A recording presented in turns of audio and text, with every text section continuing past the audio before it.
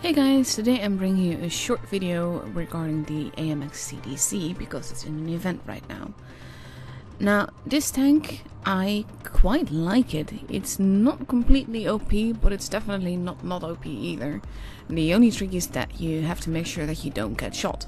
Because the thing is, it drives really smoothly and it's very nice with the rate of fire and damage it does and everything. But basically anything that shoots you will generally pen you and that can cost you the game. But if you can get behind people or if you can get in their flanks and basically just keep them from shooting you, you can do so incredibly well in this tank. It's pretty hard to ace because, well, like I said, it's a good tank, so a lot of people will do good in it. And it's somewhat like a tier 8 Dracula, not as OP as a Dracula by in any way, to be honest, but it drives similarly. But with this tank, it's not that bad that it's somewhat slower. It's a tier higher, so pretty much all the tanks are slower. And it's just pretty easy to lay shots into people, pull back, and do it again afterwards. But the real question is it worth it? And that, to be honest, I don't know. The first two stages of the event weren't all that hard to do, and in that way, it's like, okay, with a little bit of investment in time, I can get it. But as we continue, the stages get harder and harder, and basically, you have to do more and more, play more and more. And that just makes it very hard because you can only skip with gold afterwards, and you don't really get a second chance if you decide to skip like this stage and then decide not to skip the next one because then it would be quite useless. And that's the tricky part with this event because you need to decide upfront whether or not it is worth it and whether or not you will actually gold the rest of the stages. Because if you just gold one, you're just wasting that gold.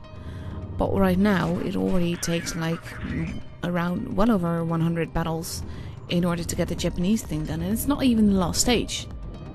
And that's the real tricky part, because that's just for the tank. If you want the attachment, you need, for the Japanese stage, you need 20k thingies, which generally means that divided by 10, as on average you might get around 100 thingies per battle, it would take you 200 battles to just get the attachment thing. And that's basically the only thing I want, because as you can see, I have the tank. But that's really not worth the investment of time. Or the frustration I get from playing that much with all the teams as they are and everything. And that's really a shame to be honest, because like I said, the CDC is a lovely tank and I think a lot of people would enjoy driving it. But not for the insane amount of gold that it will cost you in the end if you can't uh, do all the battles. And definitely not for the insane amount of time you'd have to spend if you want to get it for free. And taking into account that it's actually exam time and that a lot of people will have to be studying rather than playing, I don't think this is a very well thought out event. And even though the idea of it I like, the execution of it, not so much.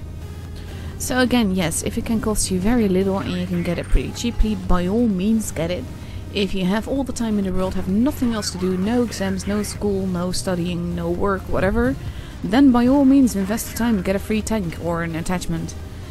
But if you have any of those things, you will not have the time to actually finish this grind, and you will be very frustrated not getting the tank, because you will have tried so hard and still not gotten it.